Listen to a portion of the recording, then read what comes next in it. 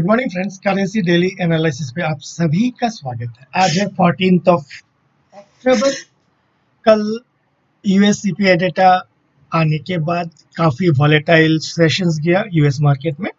Finally एक trended directions लेने का कोशिश किया है। तो आइए देखते हैं कि चार्ट्स में जाके क्या क्या एक्टिविटीज़ हुआ है एंड यहाँ से हम क्या एक्सपेक्ट कर सकते हैं। डॉलर इंडेक्स अभी आपका 112.32 पे है। कल एक अच्छा खासा ऊपर की तरफ़ जाने का कोशिश किया था पोस्ट यूएस सीपीआई डेटा 113.92 लेकिन उस लेवल से फेल हुआ है। दैट बीइंग द केस हम जो एंटिसिपेट कर रहे थे कि ये फ्रेश हाई ना बनाते हुए लोअर हाई बनाए समथिंग लाइक दिस ये हो गया आपका 28 सितंबर का हाई एंड ये हो गया आपका कल का high thirteen October something like this lower high बनाया है। दैट मीन द केस हमें अभी इंतज़ार रहेगा कि ये जो रिसेंट स्विंग लो है, उसको तोड़ता है या नहीं। यहाँ पे अगर रिसेंट स्विंग लो को तोड़ के फॉलो थ्रू मिलता है तो यहाँ पे जो डॉलर इंडेक्स का जो तेज़ी है, वो एक हॉल्ट आएगा। यानी थोड़ा सा ऊपर की तरफ़ का जो उछाल होगा, वो थोड़ा सा सबसाइड हो जाएगा। सो so, वो होता है या नहीं होता है ये हमें देखना पड़ेगा। And in such a case एक outside inside on Bollinger band pattern भी है जिसका यहाँ पे आने के बाद एक एम पैटर्न टारगेट हो सकता है जो आपका लेके जा सकता है 107 के आसपास। व्हाट इट मींस यानी आपको अभी पहले देखना है क्या क्या हर्डल है। पहला हर्डल तो ये है कि ये ट्रेंड लाइन सपोर्ट है। ये ट्रेंड लाइन सपोर्ट आपका इलेवेंथ अगस्त के बाद ये एक ट्रेंड लाइन सपोर्ट के मीन्स 45 डिग्री एंगल्स में ही अपवर्ड मोमेंटम कर रहा था। डेट बिंग द केस हमें देखना है कि ये ट्रेंड लाइन सपोर्ट को पहले तोड़ पाता है या नहीं। अगर ये ट्रेंड लाइन सपोर्ट को तोड़ देता है देन हमारा जो टारगेट होगा 110 के आसपास ये 110 के नीचे अगर सस्टेन करता है आने वाले दिनों में In such a case, we may expect 107 on dollar index. So immediately ये नीचे expectations नहीं है फ़ेज़ वाइज अगर जाता है तो हम कुछ एक्सपेक्ट कर सकते हैं यहाँ पे डॉलर भी आफ्टर सीपीआई डेटा ये 82.66 तक हाई मार के आया था, लेकिन अभी है 82.23 दैट मीन द केस यहाँ पे हमें देखना है कि ये पहले आपका एक रेंज बनाया था 81.15 से 82.00 ये जो एक रेंज है, उसके रेंज के बाहर जाने के बाद सिक्स अक्टूबर उस ऊपर ही सस्टेन कर रहा है। यहाँ पे हमें देखना पड़ेगा कि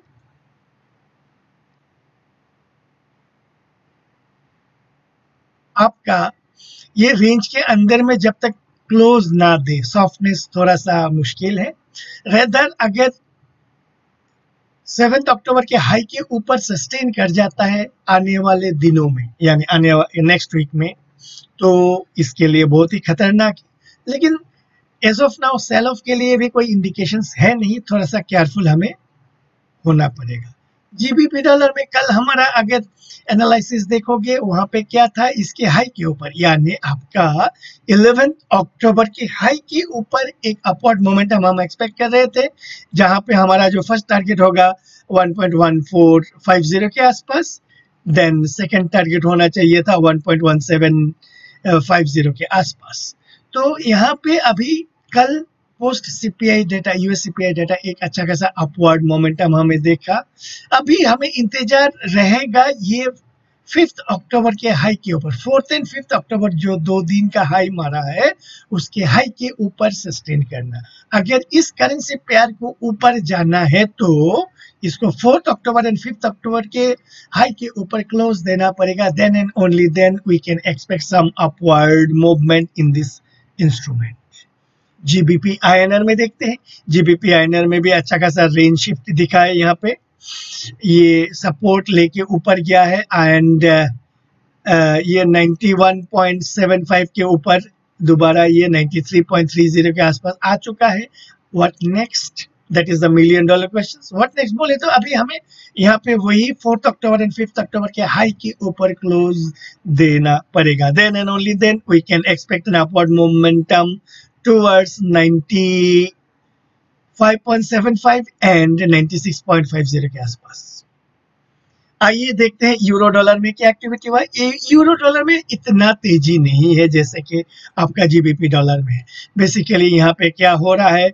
यहाँ पे दो फैक्टर्स काम कर रहा है। एक है बीओई बैंक ऑफ़ इंग्लैंड का steps market is waiting for their measures and also the government UK government का इनिशिएटिव्स यहाँ पे दो फैक्टर्स बैक टू बैक काम कर रहा है बिकॉज़ ऑफ़ विच यहाँ पे एक मीन्स मीन्स अच्छा खासा मोमेंटम हम एक्सपेक्ट कर सकते हैं। लेकिन if those measures fail to means fail to support the market expectations तो यहाँ पे फिर सेल ऑफ़ हो सकता है। सो so, हमें वहाँ पे केयरफुली मॉनिटर करना पड़ेगा। यूरो में यहाँ पे आपका रेंज शिफ्ट किया है। एक अच्छा खासा कल एक अच्छा खासा कैंडल बनाया है जो आपका पिछले तीन दिन के कैंडल को एनगल्फ कर चुका है। दैट बिंग द केस अभी ये ग्रेजुअली फिर दोबारा कोशिश करेगा। ये पॉइंट नाइन नाइन से वन पॉइंट ज़ीरो वन के बीच ये जो रे, रेंज है रेजिस्टेंस जोन है वहाँ पे ये फिर दोबारा आने का कोशिश करेगा। यहाँ पे आने के बाद हमें देखना है वही fourth October and fifth October का हाईकोर्ट क्या तोड़ पाता है या नहीं। यूरो आयनर में देखते हैं। यूरो आयनर में एक आपका ये रेंज को सपोर्ट करके फिर दोबारा ऊपर जाने का कोशिश किया है। हमें अभी इंतज़ार रहेगा fourth October and fifth October के हाई के ऊपर ट्रेड करना। इन सच सिनारियो दो, जो हमारा इमीडिएट रेजिस्टेंस होगा 81 80 से 82.20 के बीच में, इसको अगर तोड़ देगा एंड एलेवेंथ अगस्त के हाई को तोड़ देगा देन हमें एक रिसेंट स्विंग हाई हम एक्सपेक्ट कर सकते हैं।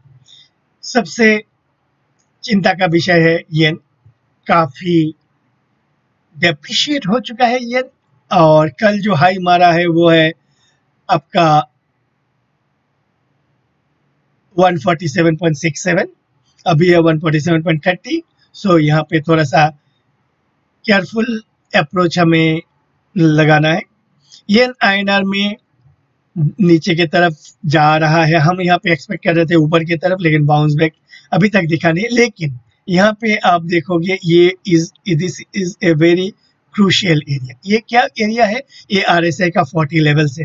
हमें देखना है कि यहाँ पे सपोर्ट लेता है या नहीं। अगर ये सपोर्ट लेता है तो ये अच्छा खासा रेंज शिफ्ट होगा इन सच सिनारियो ये नाइनर में हम पोजिशनल लॉन्ग बिल्डअप कर सकते हैं। डॉलर कैंडी में कल एक अच्छा खासा पिन बार बनाया हुआ है इन्वर्टेड पिन बार, जो हायर लेवल को निगेट कर चुका है। यहाँ पे आप देखोगे ऑल्दो आप हाई लेवल्स देखोगे तो ये प्रीवियस हाई को क्लोज कर चुका है। लेकिन क्लोजिंग बेसिस में आप देखोगे, कैसे देखेंगे, इसको अगर हम एक लाइन चार्ट बनाएँगे तो लाइन चार्ट में आप देखोगे, यहाँ पे ये हाई को तोड़ नहीं पाया है। सो व्हाट इट मीन्स हमें अभी ये एक्सपेक्टेशन है कि ये स्विंग लो को रिसेंट स्विंग लो को तोड़ता है या नहीं? ये रिसेंट स्विंग लो को तोड़ता है तो ये एक lower high low lower high lower low formation होगा जो, जहाँ पे हमें एक सेल ऑफ़ एक्सपेक्ट कर सकते हैं। ऑसी डॉलर में कल एक अच्छा खासा पिन बार बनाया हुआ perfect pin bar at the bottom of a down trend that being the case यहाँ पे हम long positional buildup gradually over a period of time हम कर सकते हैं। लेकिन जो इमीडिएट रेजिस्टेंस लेवल आएगा 64 से 0.64 से 0.6450 उसको हार्डल क्लियर करना है। बेसिकली एक डाउनफॉल आया है। इस डाउनफॉल के बाद एवरी अपटिक में रेजिस्टेंस मिलेगा। हमें देखना है कि उस रेजिस्टेंस को कैसे फेस करते हैं इस currency pair dollar C N H कल एक अच्छा खासा अप मूव मारा था आपका 7.22 लेकिन एक इन्वर्टेड पिन बार बनाया हुआ है। इन्वर्टेड पिन बार बनाने के बाद ये आपका देखोगे एक लोअर हाई क्लोज दिया है। That being the case lower high close है सो so, हमें अभी इंतज़ार है ये जो आपका लेवल्स है स्विंग लो इसके नीचे क्लोज देना। अगर इसके नीचे क्लोज दे देता है तो हमें एक सॉफ्टनेस uh, एक्सपेक्ट कर सकते हैं। ऑल्सो बोलिंजर बेंटर्स में आउटसाइड इनसाइड है दैट मीन द केस ये हमारा अगर सेल ऑफ़ होता है तो 7.02 के तरफ़ हम एक्सपेक्ट कर सकते हैं। Keeping the stop loss above 7.2650 UK oil कल दोबारा ये चैनल के बाहर चला गया है। हमें यहाँ पे प्राइस एक्शंस को थोड़ा सा क्लोजली मॉनिटर करना है। स्टॉप लॉस इसके हाई के ऊपर रहेगा। थोड़ा टारगेट हम एक्सपेक्ट कर सकते हैं 83, 84 की तरफ़ लेकिन हमें केयरफुली प्राइस एक्शंस को मॉनिटर करना है। यूएस स्टैंडर्ड ट्रेजरी कल एक रिसेंट स्विंग हाई मारा है। दैट हाई इज़ 4.0 पहले का जो स्विंग हाई था 4.019 सो so, यहाँ पे एक लोअर हाई क्लोजिंग दिया है क्लोजिंग बेसिस पे। एंड अभी हमें इंतज़ार रहेगा, क्या ये आने वाले दिनों में ये 3.58 के नीचे क्लोज देता है? यानी इन सच ए केस हमें थोड़ा सा मार्केट में शांति दिखाई देगा। सो करेंसी डेली एनालिसिस अभी के लिए इतना ही। आप सभी का दिन शुभ हो। धन्यवाद।